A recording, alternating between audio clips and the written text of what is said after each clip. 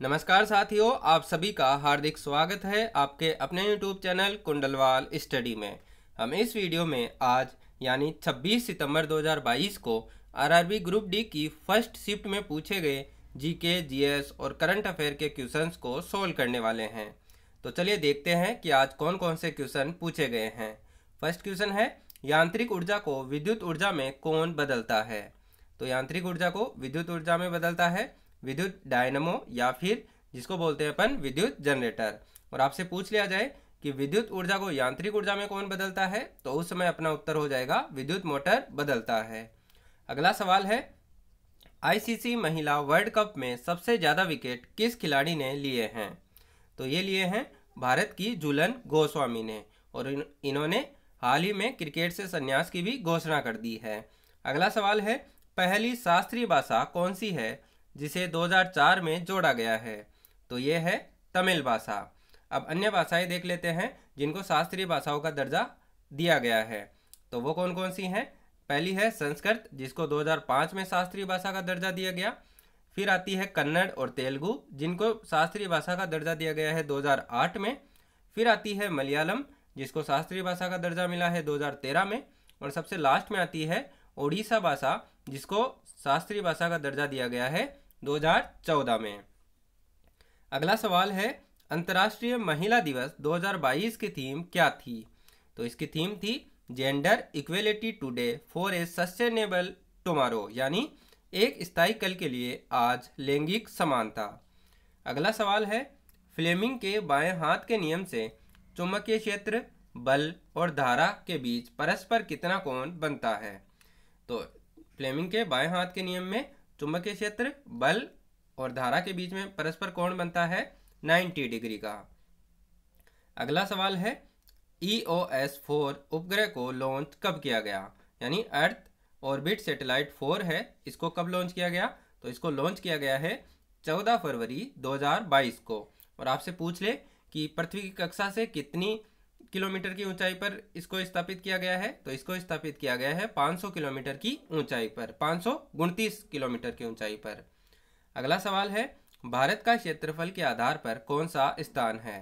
तो भारत का क्षेत्रफल के आधार पर स्थान है सातवां।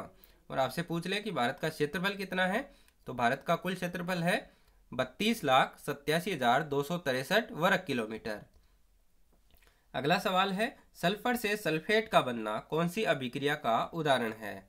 तो ये उदाहरण है ऑक्सीकरण अभिक्रिया का। अगला सवाल है धर्म निरपेक्षता शब्द किस संविधान संशोधन द्वारा जोड़ा गया है? तो ये जोड़ा गया है बयालीसवें संविधान संशोधन उन्नीस द्वारा।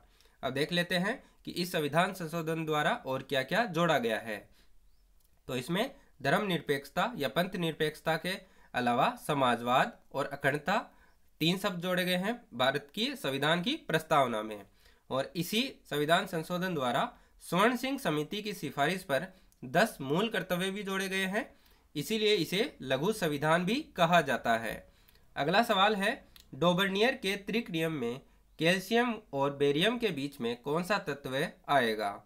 तो कैल्शियम और बेरियम के बीच में आएगा स्ट्रोनशियम, जिसका प्रतीक होता है एस आर अगला सवाल है, कैल्शियम सल्फेट हेमीहाइड्रेट किसे कहते हैं? तो कैल्शियम सल्फेट हेमीहाइड्रेट को बोलते हैं अपन प्लास्टर ऑफ़ पेरिस, जिसका फॉर्मूला होता है C A S O four dot half S two O और ये बनता कैसे है? तो ये बनता है जिप्सम को तीन सौ डिग्री केल्विन पर गर्म करने पर। अगला सवाल है, उष्मा की हानि किसके समानुपाती होती है?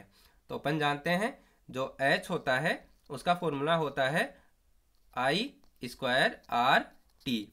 तो ये किस किस के समानुपाती हो जाएगा? तो ये समानुपाती है प्रतिरोध और समय के। और बात करें करंट के, यानी धारा के तो धारा के वर्ग के समानुपाती होता है। अगला सवाल है, भारत के प्रथम श्रम मंत्री कौन थे? तो भारत के प्रथम श्रम मंत्री थे जगजीवन राम। अगला सवाल है, सीएनजी व बायोगैस में मुख्य घटक क्या होता है?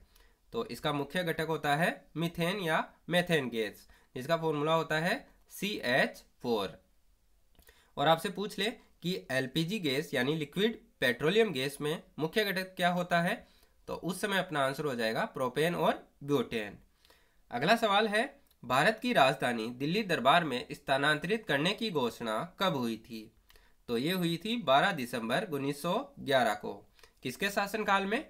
तो ये हुई थी जॉर्ज पंचम के शासनकाल में।